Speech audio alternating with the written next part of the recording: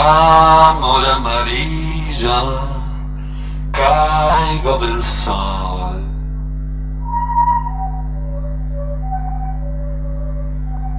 Thank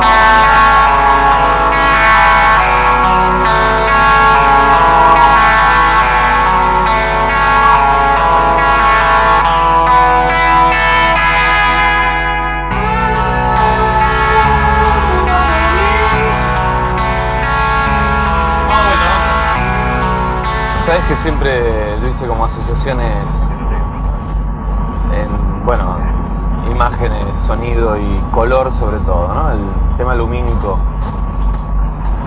De hecho, que sea un amor amarillo me hace pensar que, bueno, en algún momento algún disco lo, lo llamamos ruido blanco, este, colores santos, o sea, siempre está ligado.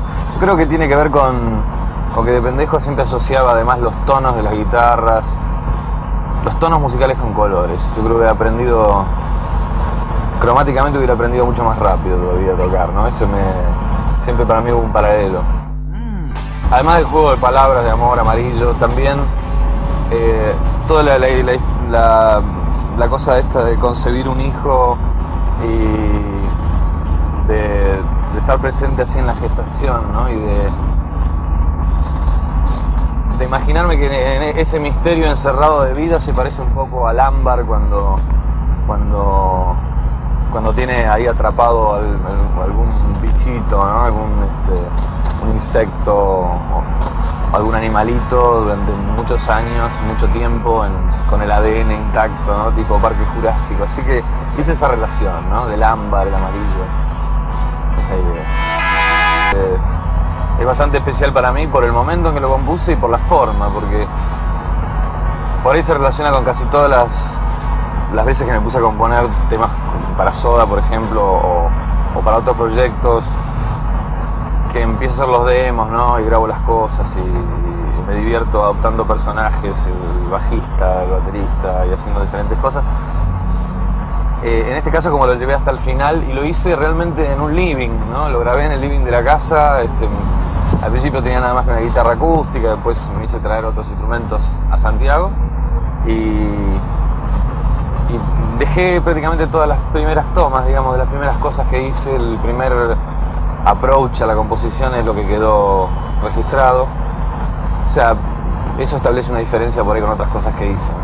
Avenida Alcorta, cicatriz.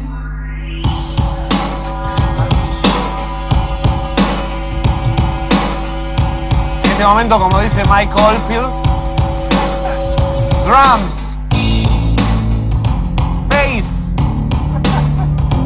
sacamos bass y entra a sonar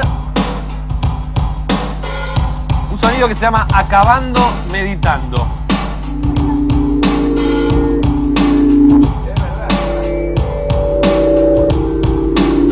Puro gerundio. Avenida Alcorta, cicatriz. Mariano, mirá lo que hice con el ambiente, ¿eh? Hoy saco. volví cansado de hablar de mí. Así era. Día puede ser azar.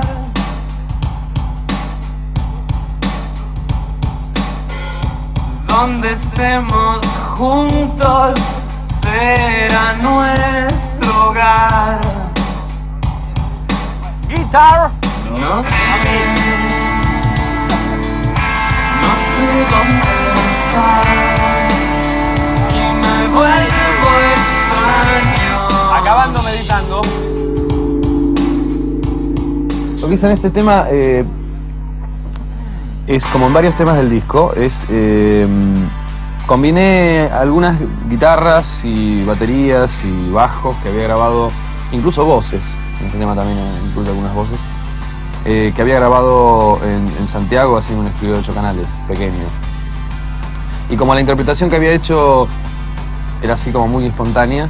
Eh, después tratar de reproducirlo acá, mm, al principio lo intenté y no, me gustaba mucho lo que terminaba haciendo. Intentaba reproducir lo que ya había hecho antes de mejor manera, así que directamente lo que hice fue volcar las grabaciones que había hecho como demos.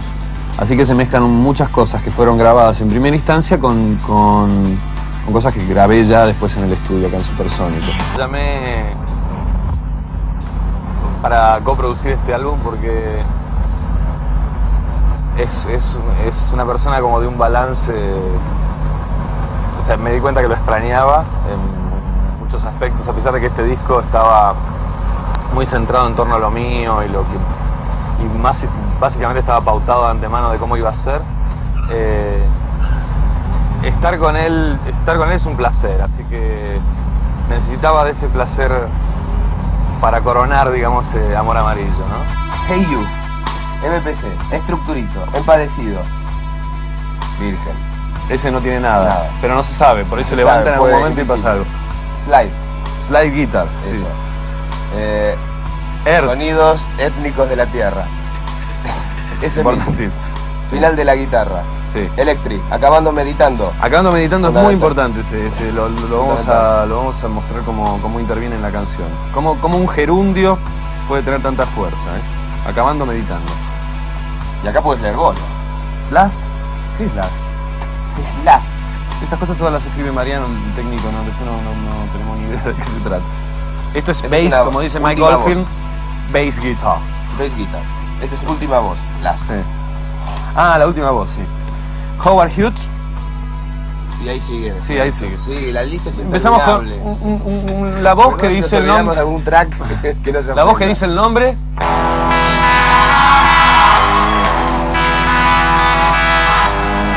Un track que no se La voz que dice el nombre.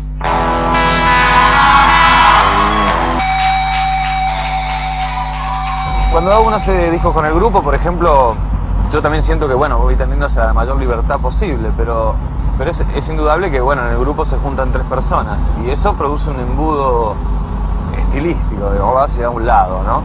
Es importante que sea así, aunque la confusión también es una de esas cosas que me interesan a mí. Pero es importante que tenga, bueno, hay un sonido, hay un seteo de amplificadores, hay una forma que uno, que uno toca, que se relaciona.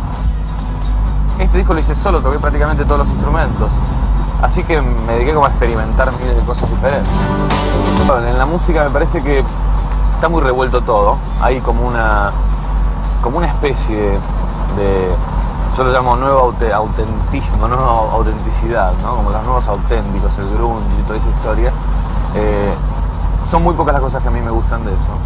Internacionalmente hablo de eso. A mí me gusta Nirvana, Sonic Youth, pero, pero no me trago todo ese resto de grupos grunge que hacen esa, esa cosa. Me, parece, me parecen casi, en muchos casos, grupos heavy metal de cuarta. ¿sí?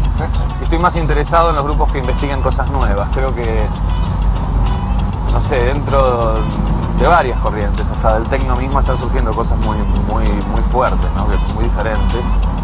Hay como unas mezclas, unos híbridos muy interesantes, pero eh, a mí me gusta mucho lo que están haciendo grupos como Spiritualized, Spectrum. Me gusta lo que pasa con, digamos, ya la parte ambient, ¿no? Que mezclan el tecno con la psicodelia, esa tecnodelia, ¿no? Tipo Dio Orm o William Orbit o gente así.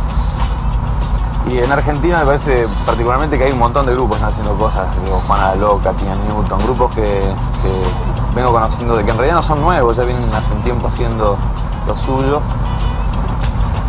Eh, bueno, mismo los peligrosos gorriones, este, me parece que hay, hay toda una movidilla así que va a empezar a dar que hablar en este año que viene.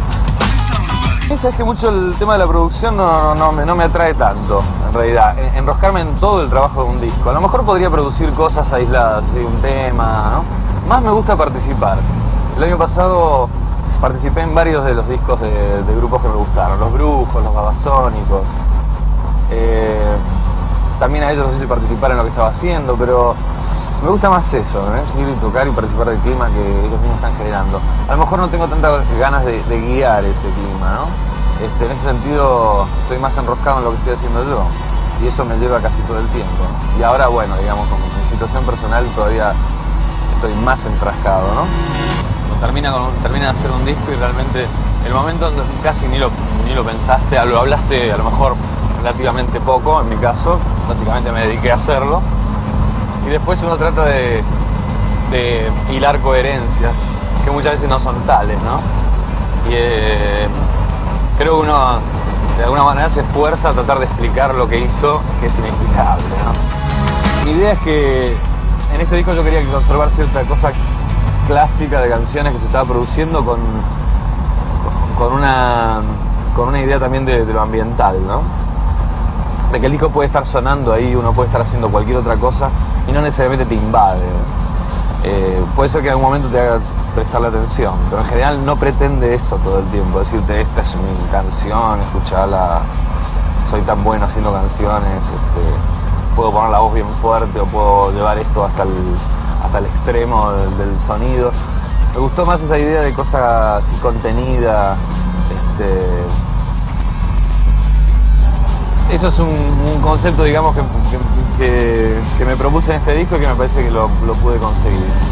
Pienso en la vida, o sea, pienso en la vida y pienso que es que la, la siento como nunca, es decir, muchas veces pienso, desde tantas veces que me, me sentí bajoneado y pensé que la vida se me escapaba, ¿no? Por la cabeza, por canales que uno desconoce. Y son pasos necesarios a lo mejor, pero para mí este es el año de la vida, entonces eso es lo que, lo que intento mostrarle a la gente que me pasa, ¿no? Y creo que, que a, hay mucha gente que le puede servir, estar unido a la vida, ¿no? Como, como algo que es muy valioso, ¿no? Una cosa que está dentro y muchas veces no, no, no, no la podés ver, ¿no? O la desprecias. Y la verdad es que este, un nuevo ser te da esa dimensión sonido y color sobre todo, ¿no? El tema lumínico.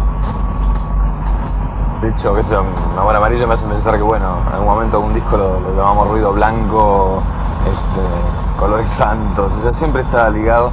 Yo creo que tiene que ver con, con que de pendejo siempre asociaba además los tonos de las guitarras.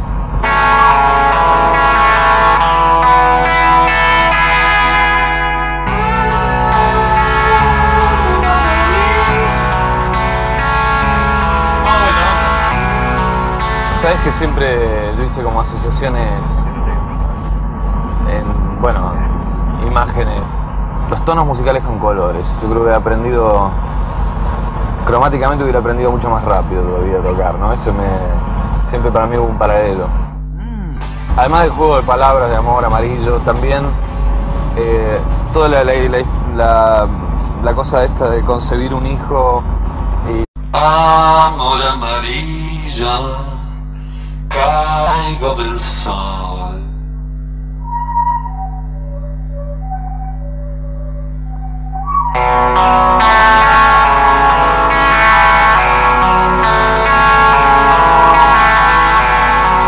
Y de, estar presente así en la gestación, ¿no? Y de,